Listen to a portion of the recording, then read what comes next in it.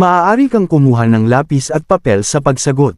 Ang tamang sagot ay makikita agad pagkatapos ng bawat bilang. Hangad kong ang lahat na susubok na sagutan ito ay makapasa sa let ngayong March 2024. Filipino Major, para sa tatlong letra, handa ka na ba? Okay, simulan na natin. Ito ang yugto kung saan nagkaroon ng teknikal na preparasyon ang mga language academy ng napagkasunduang patakaran. Mahalagang tingnan dito ang pananaw, paniniwala, sa loobin ng kapwa na magpapatupad at tatanggap ng napagkasunduang patakaran. A. Intelektualisasyon B. Codification C. Implementasyon D. Modernisasyon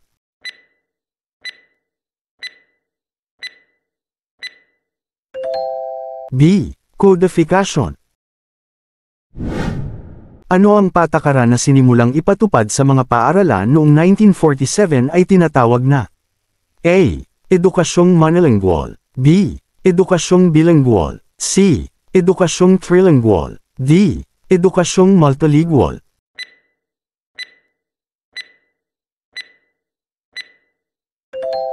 B. Edukasyong bilingual siya ang nagpakilala ng karilyo sa bansa. A. Navarro de Peralta. B. Felipe San Juan Jr. C. Luis Vian. D. Mariano Pilapil.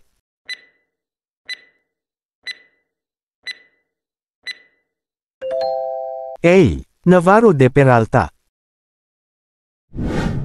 Uri ito ng korespondensya opisyal na karaniwang para sa mga kawani o empleyado sa loob ng isang tanggapan o ahensya, at layunin itong maghatid ng ulat at magbigay ng direktiba. A. Resolusyon B. Kalakip C. Memorandum D. Katitikan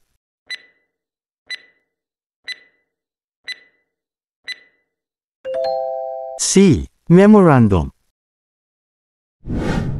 Binili niya ang shampoo dahil napanood niya sa telebisyon na si Catherine Bernardo ay gumagamit nito. A. Testimonial B. Bandwagon. C. Glittering generalities. D. Name calling.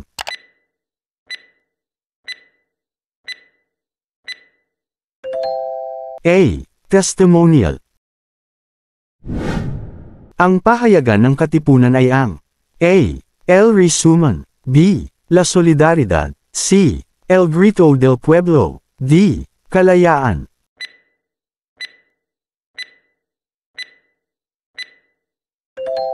D. Kalayaan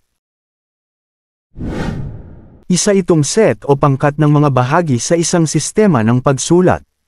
Ang mga ito sa praktika ng ortografiyang Filipino, ay binubuo ng tinatawag na mga titik at mga dititik. A. Morphema B. Ponema C. Graphema D. Orthographia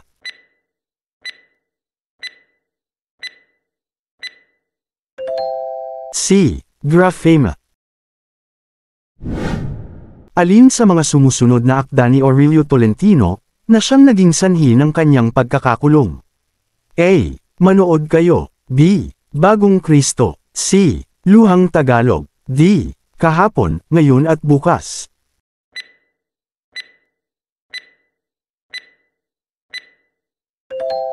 D. Kahapon, ngayon at bukas. Nasa anong antas ng wika kabilang ang mga salitang tulad ng nasan at paano?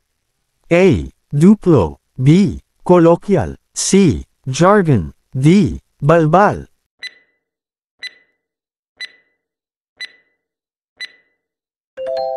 B. Colloquial Ano ang tawag sa bigat ng pagbibigkas ng pantig na maaaring makapag-iba sa kahulugan ng mga salita? A. Diin. B. Antala. C. Hintu. D. Tono.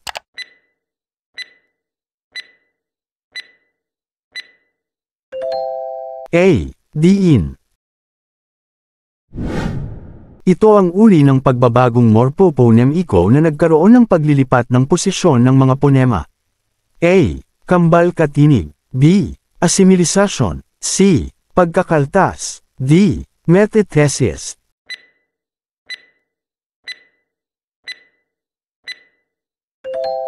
D. Metathesis Ang kauna-unahang alagad ng sining sa panitikan ay si A. Amado V. Hernandez, B. Fernando Amorsolo, C. Carlos V. Francisco, D. Francisca Aquino.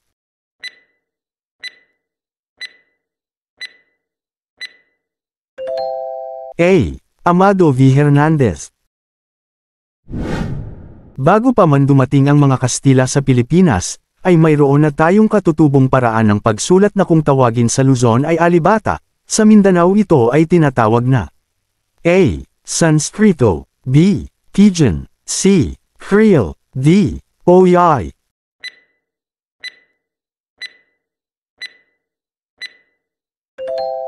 A. Sanskrito Ang kauna-unahang nobelang nailimbag sa Pilipinas. A. Noli Me Tangere. B. Urbana at Feliza. C. Barlaan at Husafat. D. Doctrina Christiana.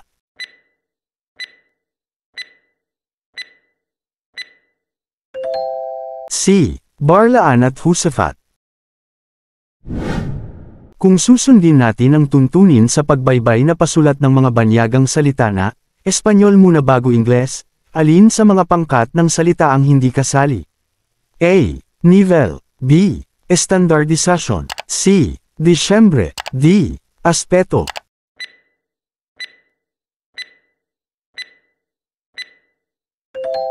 D. Aspeto Ang pagsasalaysay sa maikling kwento, na ang tao ay pinapantay sa iba ay A. Pagtutulad B. Alusyon C. Pagwawangis D. Wala sa nabanggit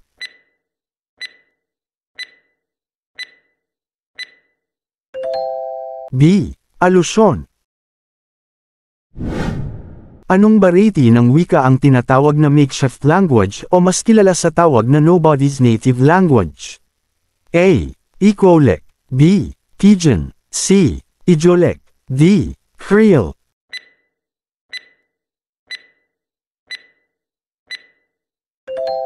B. Pidgin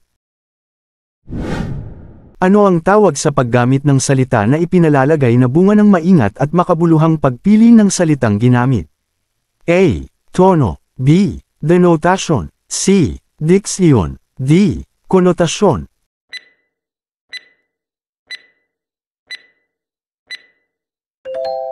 C. Diksyon Kinakapanayam ang isang tao dahil sa kanyang pagiging autoridad sa isang bagay. A. Factual o opinion interview. B. Panayam. C. Primaryang batis. D. Sekundaryang batis.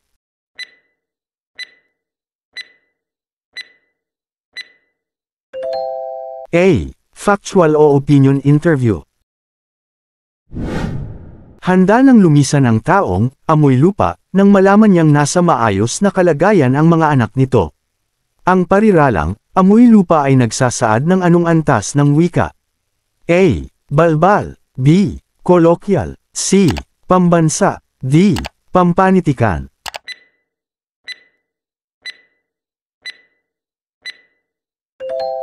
D. Pampanitikan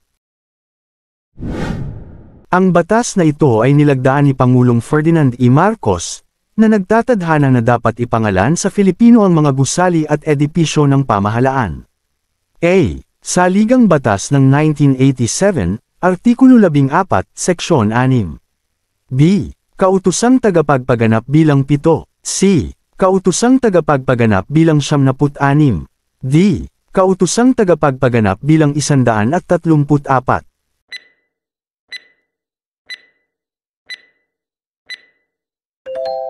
Si kautosang tagapagpaganap bilang 76. Ito ay sining ng pagsulat ng mga salita na may tumpak na titik alinsunod sa wastong gamit at wastong baybay. A. Semantika B. Orthography C. Syntax D. Graphema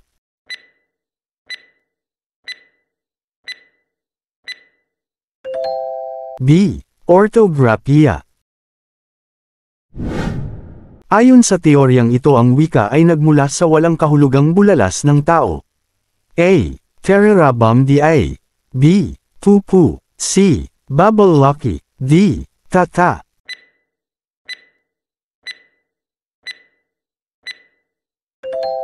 C. Bubble Lucky. Ang ama ng klasikang nobelang Tagalog ay si A. Valereno H. Peña B. Padre Modesto de Castro C. Deo Gracias Rosario D. Severino Reyes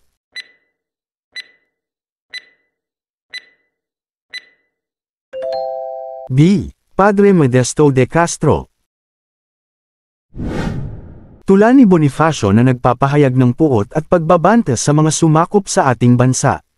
A. Katapusang hibik ng Pilipinas. B. Ang dapat mabatid ng mga Tagalog. C. Ang tunay na sampung utos. D. Pag-ibig sa tinubo ang lupa.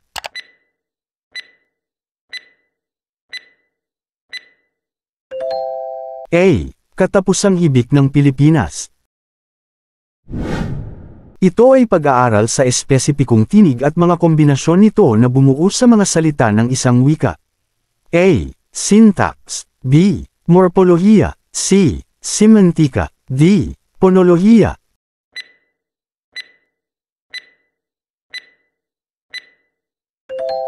D. Ponolohiya ito ay isang sangay ng lingwistika na sumasaklaw sa pag-aaral ng kayarian o istruktura ng salita. A. Morpolohiya B. Orthographiya C. Syntax D. Semantika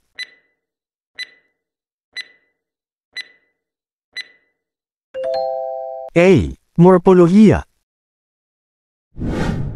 Ang isang kolaboratibong estratehiya na ang isang pangkat ng mag-aaral, ay nagiging eksperto sa isang bahagi ng teksto ay tinatawag na A. Silent way B. Jigsaw C. Round table discussion D. Panel discussion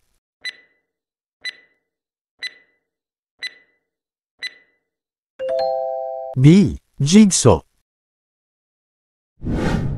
Ito ay tumutukoy sa mga salitang pinaiikli at madalas maririnig sa pang-araw-araw na usapang informal. A. Jargon B. Lalawiganin C. Balbal D. Colloquial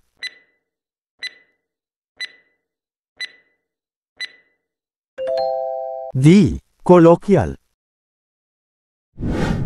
Naniniwala siya ang lahat ng subject sa primaryang baitang, kahit na ang Ingles ay dapat ituro sa pamamagitan ng dialektong lokal.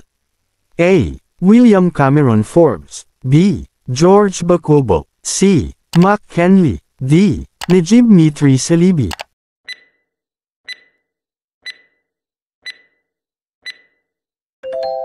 B. George Bacobo. Sinika ay naglulubid ng buhangin. Ang pariralang, naglulubid ng buhangin, ay nagsasaad ng anong antas ng wika. A. Pambansa. B. Colloquial. C. Pampanitikan. D. Balbal.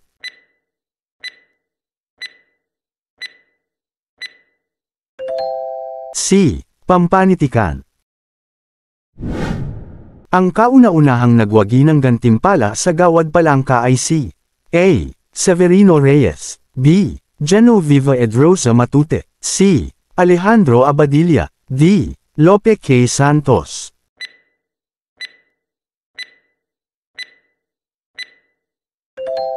B. Genoviva Edrosa Matute Ang taong nakatuntong ng pag-aaral at kinilala ang kultura, ay nasa teoryang A. Existential B. Psychoanalytico C. Sosyologikal D. Humanismo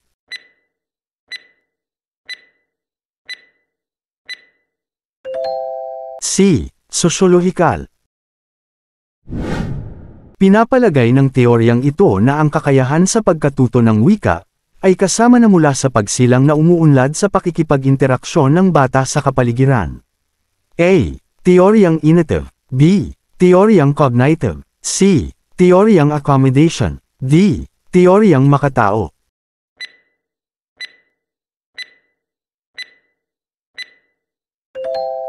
A. Teoryang inative. Ito ay yugtong wika na kung saan ang mga mag-aaral ay nakapagpapahalaga na ng mga salita at parirala, bagamat may mga pagkakamali pa ring taglay dahil sa sariling pagkaunawa. A. Pasumala. B. Unitary. C. Automatic. D. Kamalayang structural.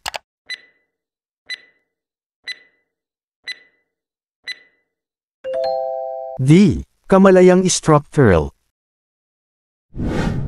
Dulang may layuning magpatawa, ngunit ang mga pangyayari ay karaniwan lamang sa pamamagitan ng mga awitan. A. Trahedya B. Sineti C. Komedya D. Melodrama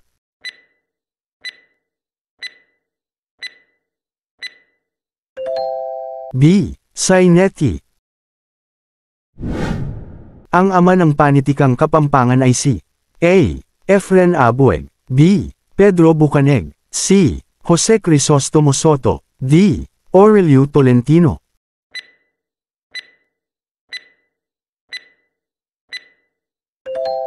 C. Jose Crisostomo Soto. Ang sumusunod na salita ay mga pares minimal, maliban sa A. Kulang, gulang. B. Pusa, kusa. C. Patay, palay. D. Tela, tila.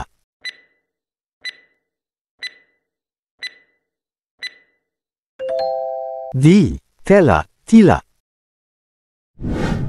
Ito ay isang disiplina na nag-aaral ng wika at lahat ng kaugnay rito. Ito ay may layuning maunawaan ang likas na wika, bokabularyo, pagsasalita, bigkas, at iba pang aspekto nito. A.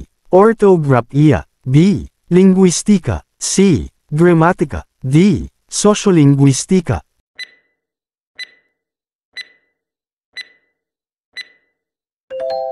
B. Linguistika Anong antas ng wika ang tinatawag na wikang standard, kinikilala at ginagamit ng nakararami sa mga formal na sitwasyon? A. Formal B. Pambansa C. Informal D. Pampanitikan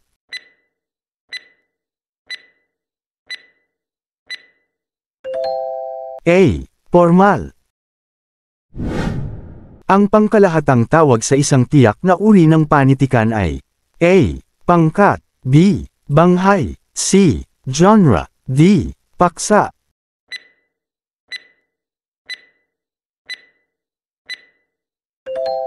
C. Genre Ang suyuan sa tubigan at impong sela ay mga kwentong A. Katutubong kulay B. Pangkatauhan C. Pangkaisipan D. Pangkapaligiran.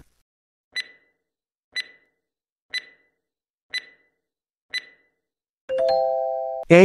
Katutubong kulay. Ang ibig sabihin nito sa Ingles ay it doesn't follow, ay uri ng maling pangangatwiran kung saan nagbibigay ng conclusion na walang kaugnayang batayan. A. Argumentum ad misericordiam. B. Nun sequitur. C. Argumentum ad bactum. D. Argumentum ad hominem.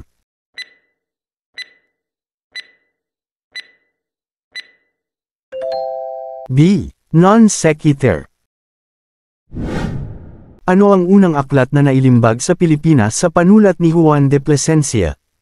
A.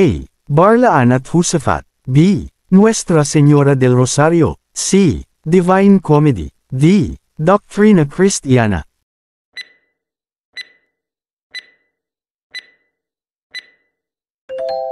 D. Doctrina Christiana Ang ating kakayahan ay mahalaga at ito ay kailangan sa pag-unlad ng bansa. Ito ay nasa kayariang A. Payak B. Tambalan C. Hugnayan D. Langkapan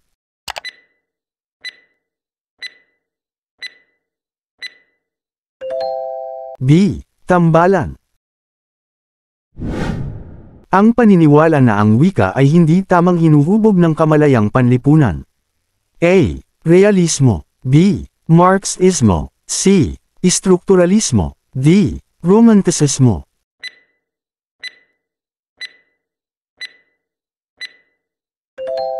C. Istrukturalismo. Ito ang itinuturing na tagapanguna ng maikling kwento noong panahon ng Kastila. A. Mga buhok na nangungusap. B. Nena at Neneng. C. Barlaan at Husafat. D. Urbana at Feliza.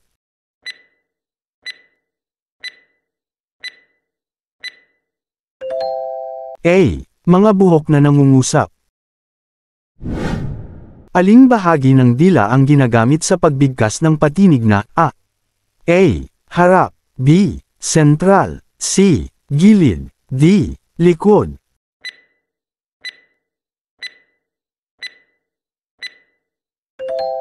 B. Sentral. Ilang pantig mayroon ng salitang asambleya? A. Dalawa. B. Tatlo. C. Apat. D. Lima.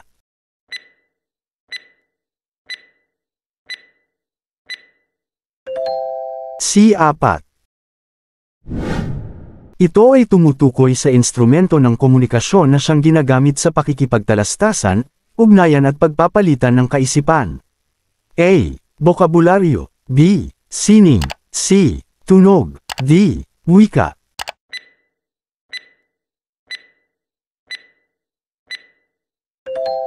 D. Wika. Ito ang nangangahulugan na dapat pagyamanin ang wikang Filipino upang maiwasan ang panghihiram ng salitang banyaga. A. Multilingual. B. Purismo. C. Monolingual. D. Bilingual.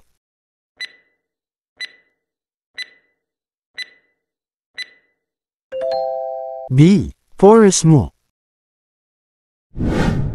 Ang awit ng pagtatagumpay sa pakikidigma. A. Kumintang. B. Salagintok. C. Sambatani. D. Talandaw.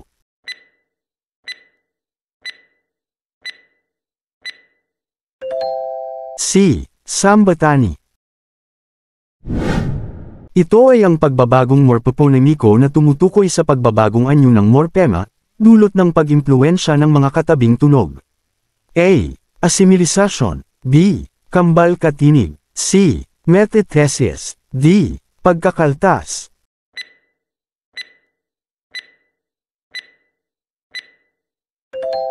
A.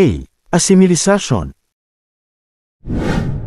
Ang unang yugto ng pagkatuto ng wika na nabubuo sa malikhaing tunog na bunga ng vocalizing, quowing, goggling, at babalang ng mga bata. A. Expansion at delimitasyon. B. Automatic. C. Pasumala. D. Unitary.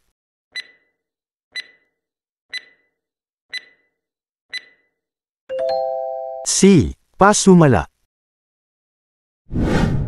Ang proseso ng pagpapakahulugan na ginagamitan ng isip ay ang A. Comprehension B. Pagbasa C. Pagsusuri D. Pagsulat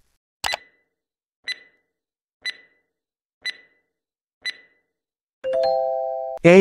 Comprehension Siya ang nag-atas na turuan ang mga Indio ng wikang Espanyol. A. Carlos I.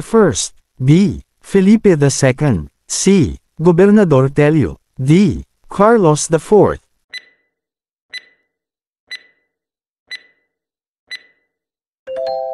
C. Gobernador Telio. May pag-asa, anong uri ito ng pangungusap na walang tiyak na paksa? A. Temporal. B. Existential. C. Modal. D. Phenomenal.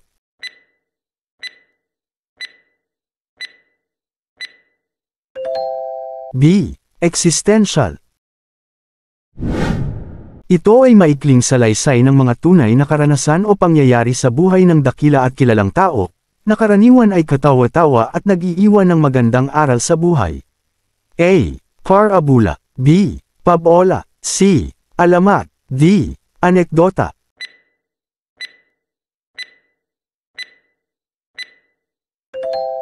D. Anekdota. Ama ng Dula at Sarswelang Tagalog. A. Pedro Bucaneg. B. Jose Rizal. C. Cecilio Apostol. D. Severino Reyes.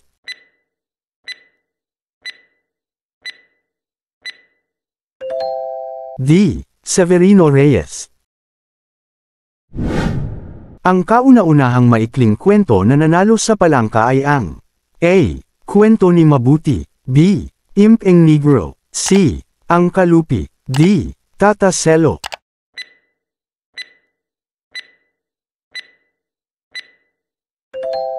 A. Kwento ni Mabuti Sa ganitong interview ay tanging tagapanayam o isang mamahayag ang nagtatanong lamang sa kasama ng kinakapanayam. A. Eksperimento B. Exclusive interview C. Panayam D. Focus group discussion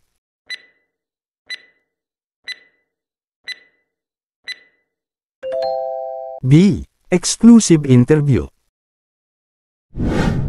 Ang nagpahayag ng moralidad at pananampalataya ng mga Italiano ay ang A. Canterbury Tales B. Song of Roland C. Iliad and Odyssey D. Divina Commedia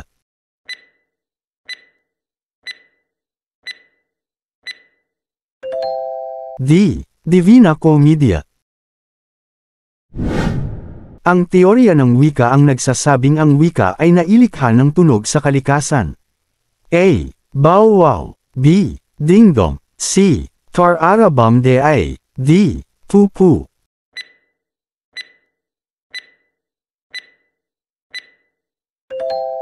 A. Bow wow. Ang may akda ng walang sugat ay si A. Patricio Mariano B. Hermogenes Ilagan C. Jose Palma D. Severino Reyes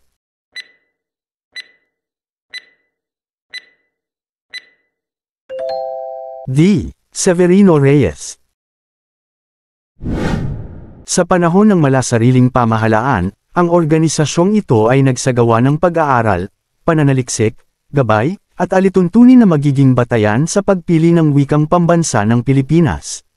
A. Japanese Imperial Forces B. Monroe Educational Survey Commission C. Surian ng Wikang Pambansa D. Tumasite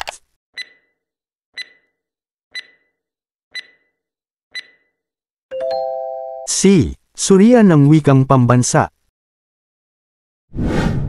Ang Daramok Ababay ay karugtong ng epikong A. Maragtas B. Bantugan C. Lagda D. Hinilawod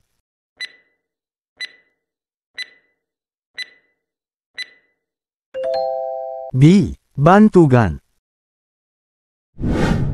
Ito ay binubuo ng 30 na titik na kung saan binibigkas na paraang pakastila. A. Abakada B. Makabagong alpabeto C. Abesedaryo D. Baybayin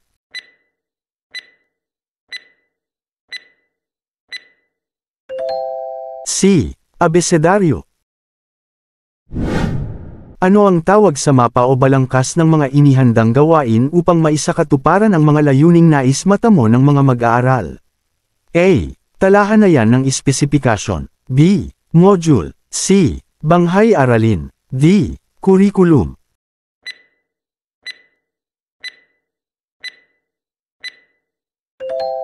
C. Banghay aralin. Itinuturing na ang wika ay arbitraryo. Nangangahulugan na ito ay A.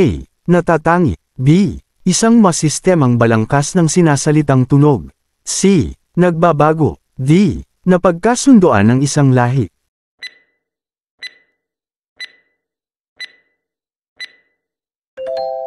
D. Napagkasundoan ng isang lahi Kumusta ka na Andrea? Ang paraan ng paggamit ng wika ayon kay Jacobson na makikita sa pahayag ay A. Phatic B. Referential C. Cognitive D. Emotive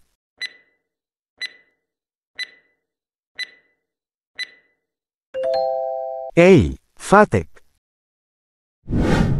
Ginagamit ito para sa mga pipi at bingi na nakatutulong na makapaglinang ng boses ng isang pipi sa pamamagitan ng vibration na nasa sagap ng teknolohiyang ito mula sa nagsasalita. A. EduChat B. VV Talker. C. Portable Voice Amplifier. D. Blogging.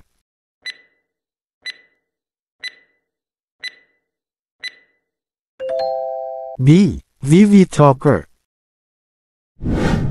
Anong gamit ng wika ang sumasaklaw sa masining na paraan ng pagpapahayag gaya ng panulaan, prosa, sanaysay at iba pa? A. Poetic B. Phatic C. Conative D. Metalingual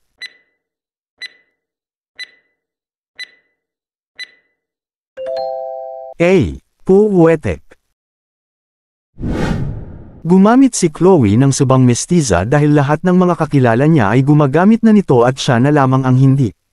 A. Testimonial B. Glittering generalities C. Bandwagon D. Name calling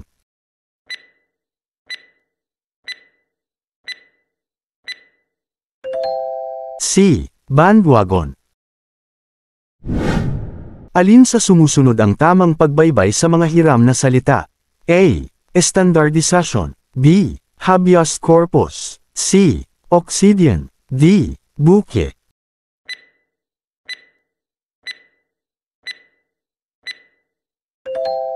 A. Standardization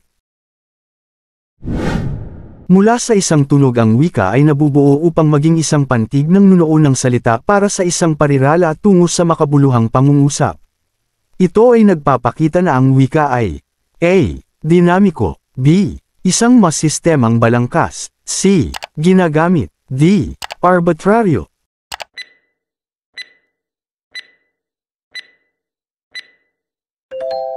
B. Isang mas sistemang balangkas bakit Tagalog ang siyang napiling batayan ng kauna-unahang wikang pambansa sa Pilipinas? A. Dahil sa ito ay tinatanggap at ginagamit ng mas nakararaming Pilipino. B. Dahil sa ito ang ginagamit ng mga taga Manila kung saan naman matatagpuan ang kabisera ng Pilipinas. C. Dahil sa ito ay binubuo ng mga kaakit-akit na mga salita at bokabularyo. D. A at B.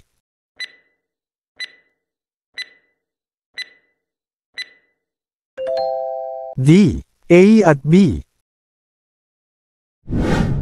Sa ikauunlad ng bayan, disiplina ang kailangan, ay islogan noong panahon ng A.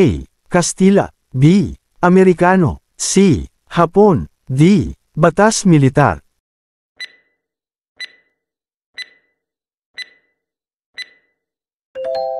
D. Batas Militar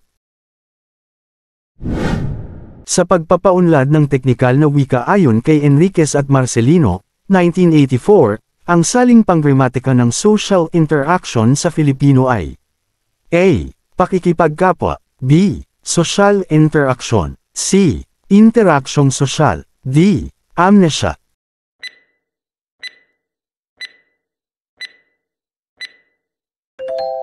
C. Interaksyong sosyal ito ay tinatawag na blueprint ng sarili. A. Resume. B. Bio note. C. Buod. D. Katitikan.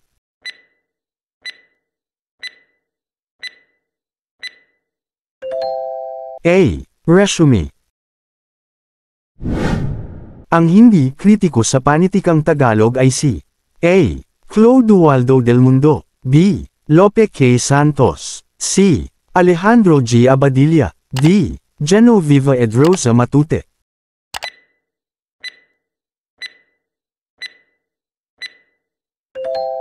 D. Genoviva Edrosa Matute. Sino ang kasalukuyang punong komisyoner ng KWF? A. Lope K. Santos B. Cecilio Lopez C. Jaime C. De Vera D. Arthur Casanova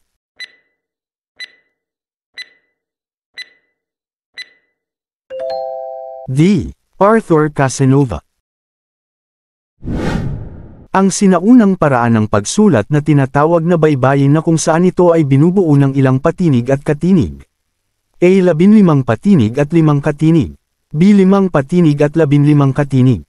C. Labing apat na patinig at tatlong katinig. D. Tatlong patinig at labing apat na katinig.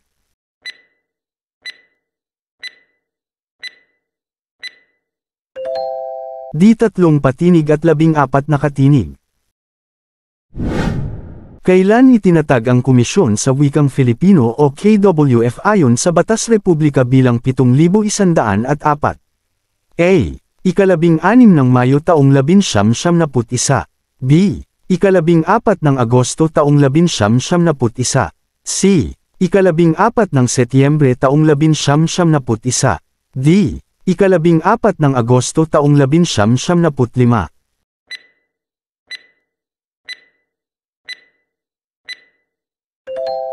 B. Ikalabing apat ng Agosto taong labinsyam siyam naput isa.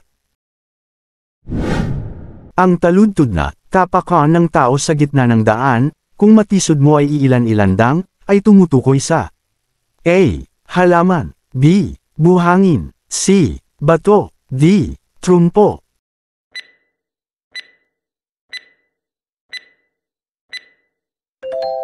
C. Bato Anong teorya ng pagkatuto ng wika ang nagsasabing likas na natuto ang tao ng wika? A. In-nativist B. Cognitivist C. Behaviorist D. Humanist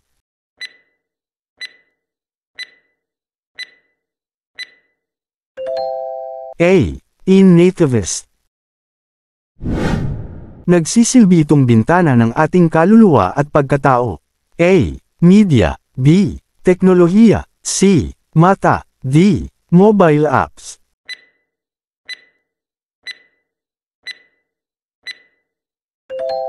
C. Mata Siya ay kilala sa kanyang sagisag panulat na Huseng Sisiu. A. Florentino Colliantes B. Jose de la Cruz C. Julian Cruz Balmaceda D. Jose Corazon de Jesus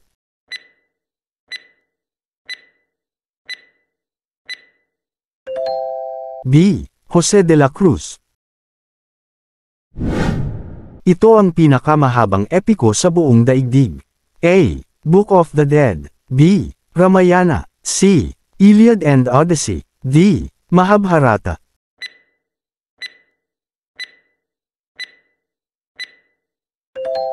D. Mahabharata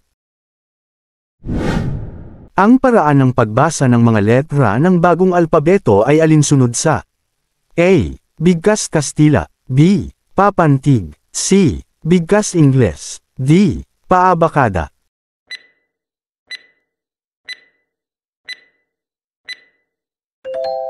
C. Bigkas Ingles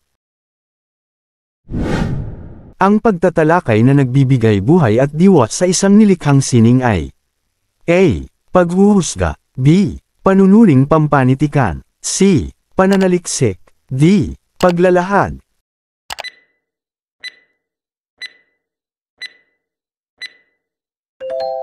B. Panunuring pampanitikan Puso, sagana, talumpati, ay mga salitang binibigkas ng A. Maragsa. B. Mabilis. C. Malumay. D. Malumi.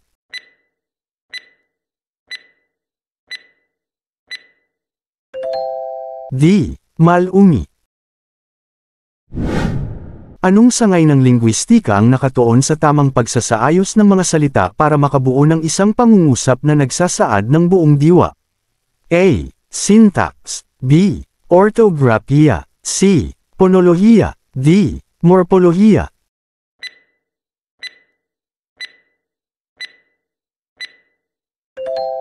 C. Noche Buena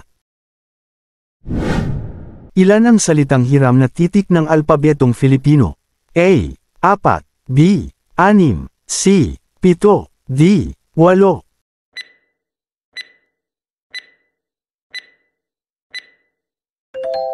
D. Walo Aling magazine noong 1907 na pag-aari ni Lope K. Santos, kung saan siya naging editor din. Tinatalakay nito ang mga isyong pampolitika, lipunan, at kultura. A.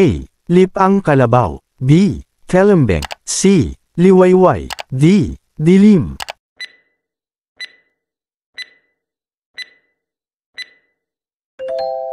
A. Lipang Kalabaw Anong teorya ng wika nagsasabing ang wika raw ng tao ay nagmula sa panggagaya sa mga tunog ng bagay sa kapaligiran? A. Teoryang Bawwaw B. Teoryang Lala C. Teoryang Yoheho D. Teoryang dingdong.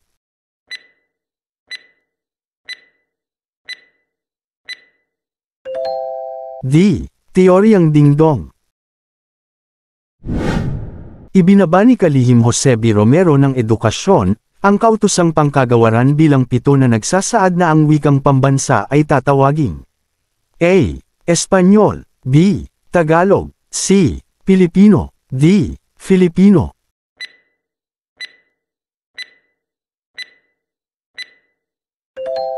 C. Pilipino Nagiging mahirap ang pagsasali ng mga idiomatikong ekspresyon sa isang tagapagsalin kung hindi niya alam ang taglay na A. Wika ng bansa B. Kultura ng bansa C. Yaman ng bansa D. Pamumuhay ng bansa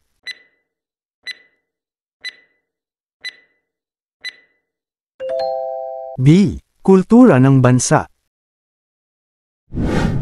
Alin ang hindi kasali sa pangkat? A. Diin B. Antala C. Cluster D. Tono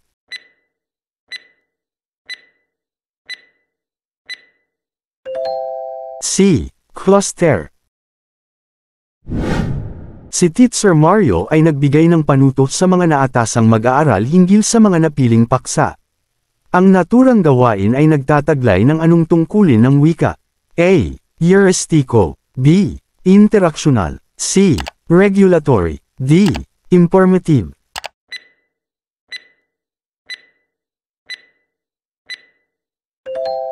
C. Regulatory. Ginagamit sa pagtatalakay ng mga isyo at nauorganisa ang mga argumento sa pamamagitan ng A. Spiderweb B. Habing semantika C. Venn diagram D. Discussion web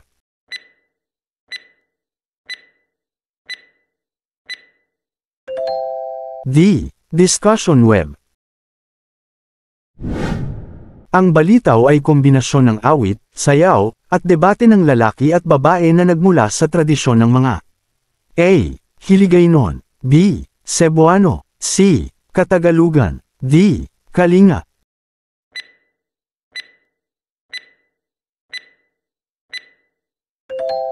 B. Cebuano Aklat na nagtataglay ng mga pinakahuling impormasyon tungkol sa mga punto ng kawilihan tulad ng kaganapan sa isang bansa, palakasan, relihiyon, politika. A. Encyclopedia B. Almanac C. Diksyonaryo D. Atlas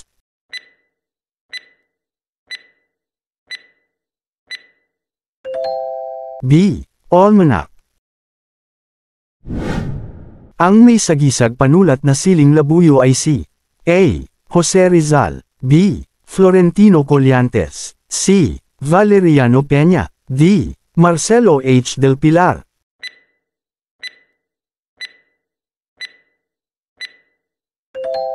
D. Marcelo H. Del Pilar.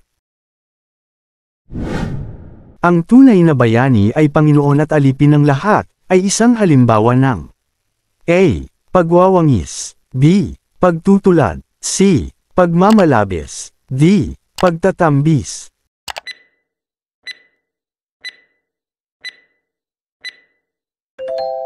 D. Pagtatambis.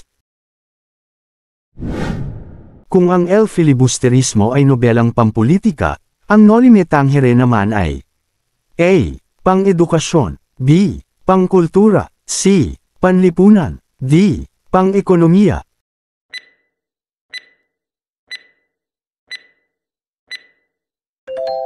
C. Panlipunan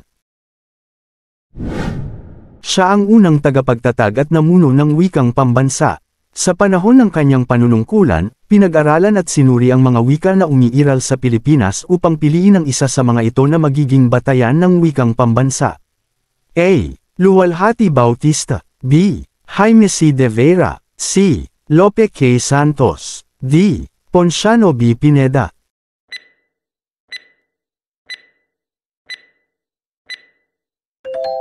B. Jaime C. De Vera. Sino ang nagsabi na ang wika ay mas sistemang balangkas ng sinasalitang tunog? na pinipili at isinasaayos sa paraang arbitraryo upang magamit ng mga tao sa pakikipagkomunikasyon. A. Haring Samaticos B. Edward Sapper C. Benjamin Lee Worf D. Henry Gleason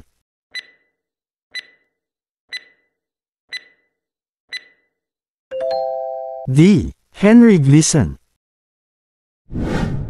Ang doktrinang pinaunlad ni na Karl Marx at Friedrich Engels ay ang A. Formalismo B. Deconstruction C. Marxismo D. Naturalismo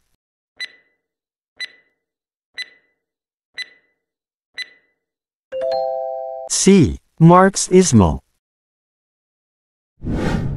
Sino sa sumusunod ang lumikha ng comics na Ang Panday? A. Carlo J. Caparas B. Francisco Coching C. Tony Velasquez D. Jerry Alangilan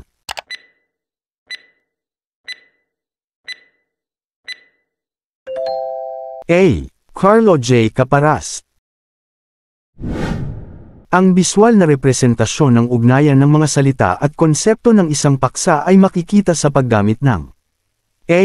Discussion web B. Habing semantika C. Etimolohiya D. Spider web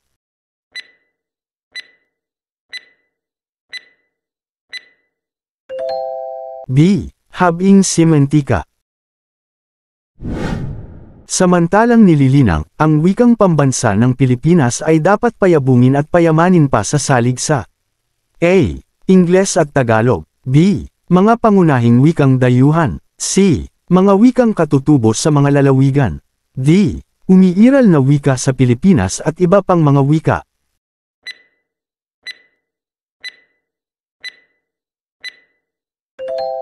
D. Umiiral na wika sa Pilipinas at iba pang mga wika Anong bantas ang siyang inilalagay sa pagitan ng unlaping, ika, at tambilang? A. Gitling B. Kuwit C. Panaklong D. Tuldok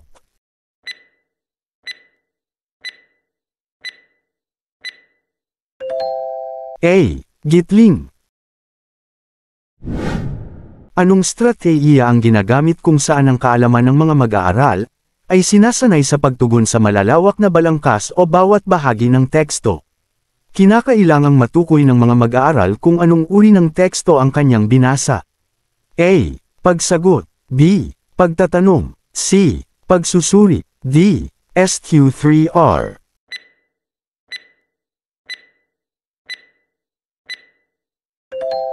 C. Pagsusuri Si Kayla ay tubong Davao ngunit lumaki sa South Korea. Pagkaraan ng ilang taon ay nagtungo ang pamilya niya sa Pilipinas upang dito manirahan at makapag-aral sa isang kilala at mahusay na universidad. Sa makatuwid, ang Ingles na natutuhan niya sa kanyang paaralan ay tinatawag na A. Unang wika B. Ikalawang wika C. Ikatlong wika D. Ikaapat na wika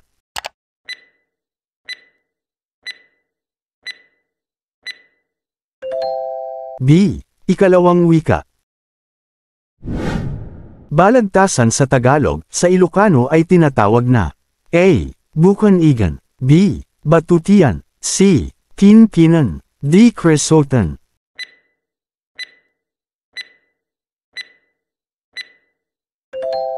A. Bukanigan Sa kautosang pangkagawaran bilang 81 ng 1987, ang alpabetong Filipino ay binubuo ng A. 17, B. 20, C. 28, D. 30.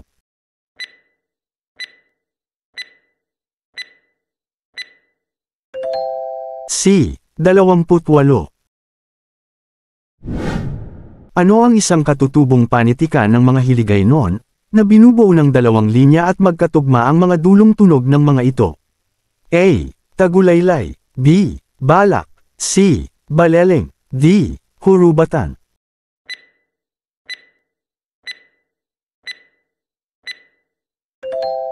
D. Hurubatan. Sino ang Pangulo ng Pilipinas na nag-utos na awitin ang pambansang awit ng Pilipinas sa wikang Filipino? A. Julian Felipe. B. Manuel L. Quezon. C. Diosdado Macapagal. D. Ramon Magsaysay.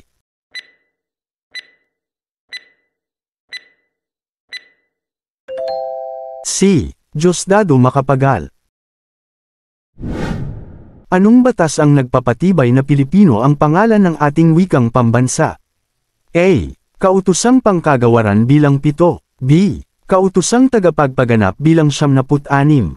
C. Kautosang tagapagpaganap bilang isandaan at tatlumput apat. D. Saligang Batas ng 1987, Artikulo 14 na Seksyon 6.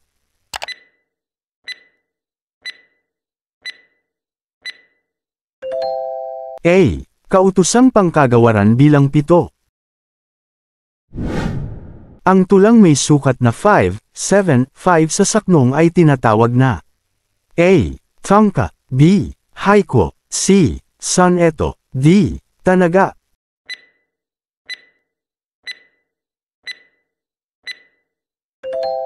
B. Haiko Nililinang ang comprehension ng buong klase. Ang mga bata ay aktibong nakikilahok sa talakayan sa tulong ng mga tanong na nasa mataas na level ng pag-iisip. Alin sa sumusunod ang teknik na ginamit ng guro? A. Ugnayan ng tanong-sagot. B. Directed reading activity. C. Reciprocal questioning. D. Directed reading thinking activity.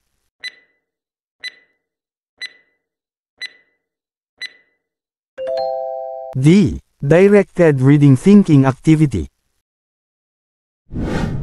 Tulang maikli, may sukat at tugma na may pitong pantig ay ang A. Soneto B. Haiko C. Tangka D. Tanaga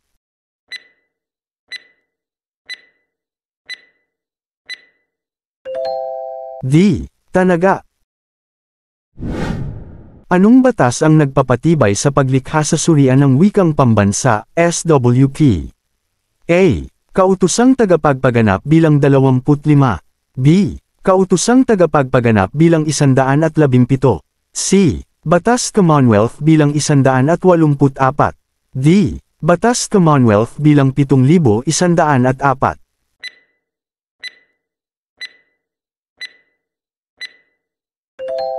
C. Batas Commonwealth bilang 184. Anong uri ng tungkulin ng wika ang tumutugon sa pangangailangan na kung saan ang halimbawa ay pag-utos at pakiusap? A. Informative B. Interactional C. Instrumental D. Regulatory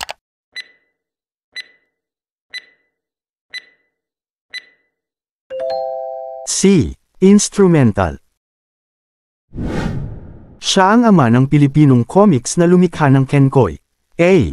Tony Velasquez. B. Carlo J. Caparas. C. Jerry Alangilan. D. Francisco Conching.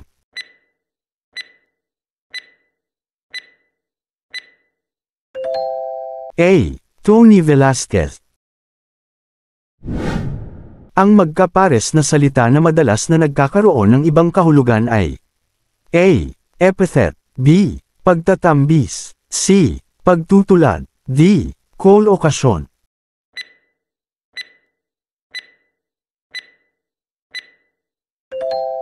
D. Call okasyon. Aklat ng mga mapang nagsasabi ng lawak, distansya, at lokasyon ng mga lugar. Ito ay nakaayos ayon sa pagkakahating pampulitika, rehiyon, o estado. A. Almanac. B. Encyclopedia. C. Atlas. D. Diksyonaryo.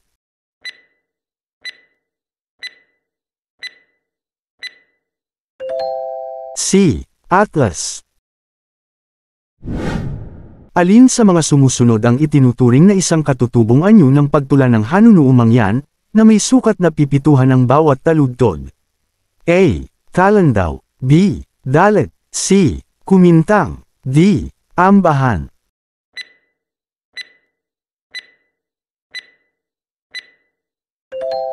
D. Ambahan Anong taon ipinatupad ang Pilipino bilang wikang pambansa ng Pilipinas? A. 1887 B. 1937 C. 1959 D. 1987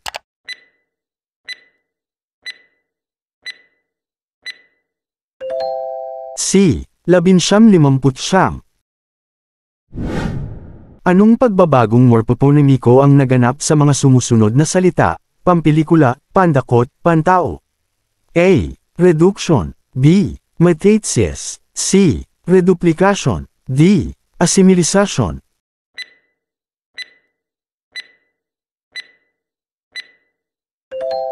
D. Assimilization. Ang maling sistema ng edukasyon ng pinaasa tayo ng simbahan sa Himala ay mababasa sa A. Sa katamaran ng mga Pilipino. B. Hinilingan nila ako ng berso. C. Sa kabataang Pilipino. D. Huling paalam.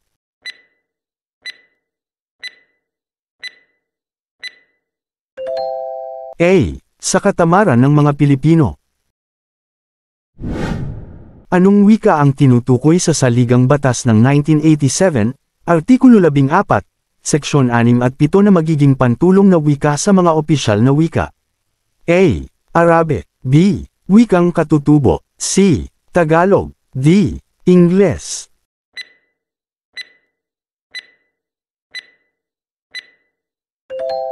B. Wikang katutubo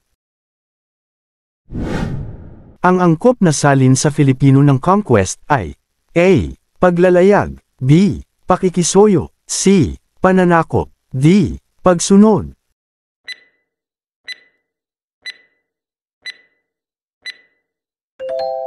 C. Pananakop Sa punyam ang segmental, ano ang tinataglay ng mga salitang lalaki, lalake, at madami, marami? A. Pares minimal. B. Cluster. C. Diptongo. D. Punyam ang malayang nagpapalitan.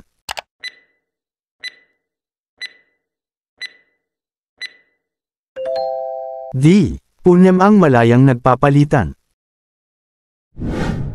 Anong sangay ng lingwistika ang nakatuon sa pag-aaral kung paano mabibigyang kahulugan ang mga salita batay sa paggamit nito sa pangungusap o pahayag?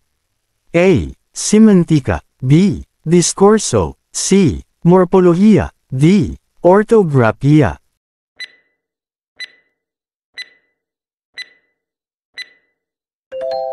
A. Semantika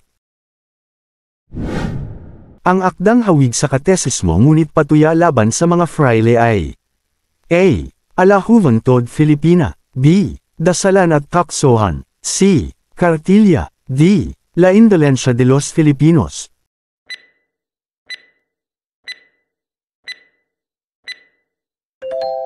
B. Dasalan at Taksohan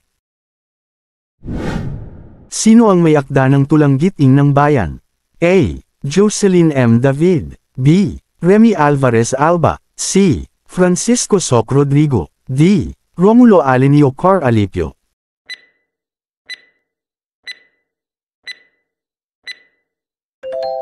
C. Francisco Soc Rodrigo. Anong taon ipinatupad ang Tagalog bilang batayan ng wikang pambansa ng Pilipinas? A. 1920. B. Labinsyam tatlumput pito. C. Labinsyam limamput siyam. D. Labinsyam pitumput walo.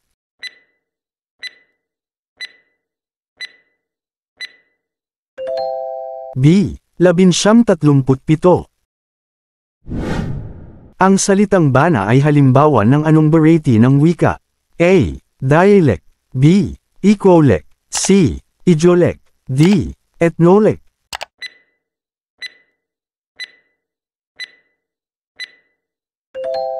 A. Dialect Pumasa ako sa lisensyang pagsusulit.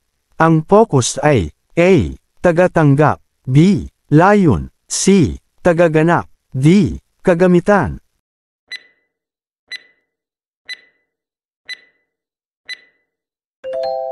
C. Tagaganap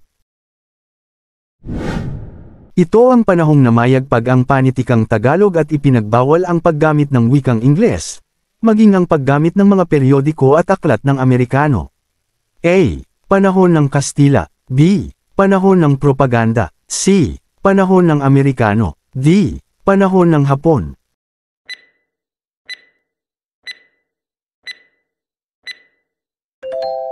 D. Panahon ng Hapon. Ang panggagad sa estilo ng may akda sa paraang panunuya o panlilibak. A. Moro-moro. B. Panunuksu. C. Pagsasadula. D. Parodya.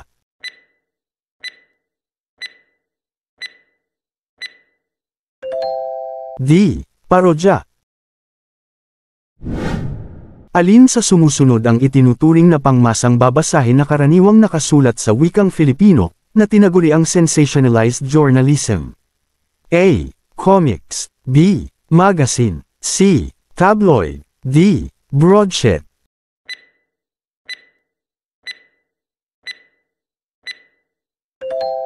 C. Tabloid. Aling teorya ang nagpapamalas ng karanasan o kasagsagan sa buhay ng may akda? A. Teoryang biographical. B. Teoryang historical. C. Teoryang Marxismo. D. Teoryang klasesmo.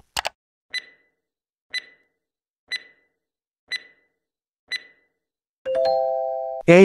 Teoryang biographical.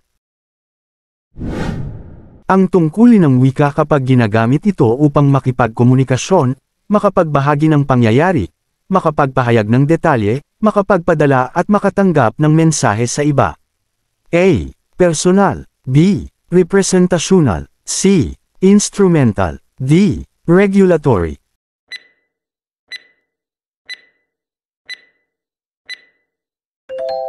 B. Representational. Ang Indarapatra at Sulaiman ay epiko ng mga A. Bisaya, B. Ilocano, C. Tagalog, D. Moro Muslim.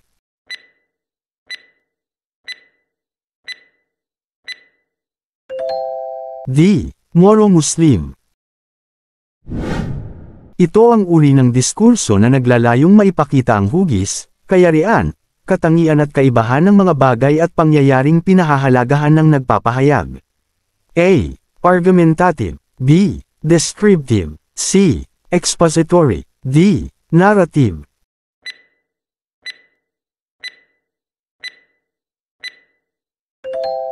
B. Descriptive.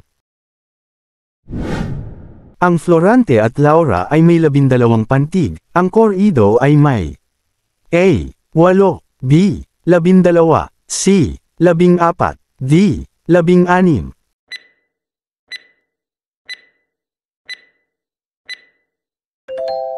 A. Walo.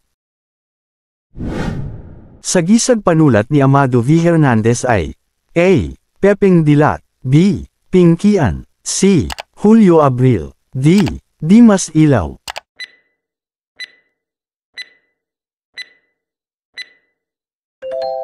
C. Julio Abril Ngayong tapos mo ng sagutan ng drill na ito, ilan ang nakuha mong score? Maaari mo itong i-commento sa baba katabi ang katagang LPT, at dugtungan mo ng iyong pangalan.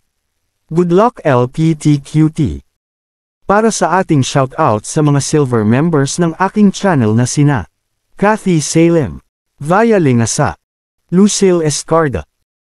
Maraming salamat sa inyong malugod na pagsali at partisipasyon. Ang susunod na video ay makikita sa screen, pindutin lamang kung nais panoorin.